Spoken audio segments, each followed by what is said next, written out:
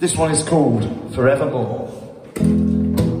Are you gonna dance?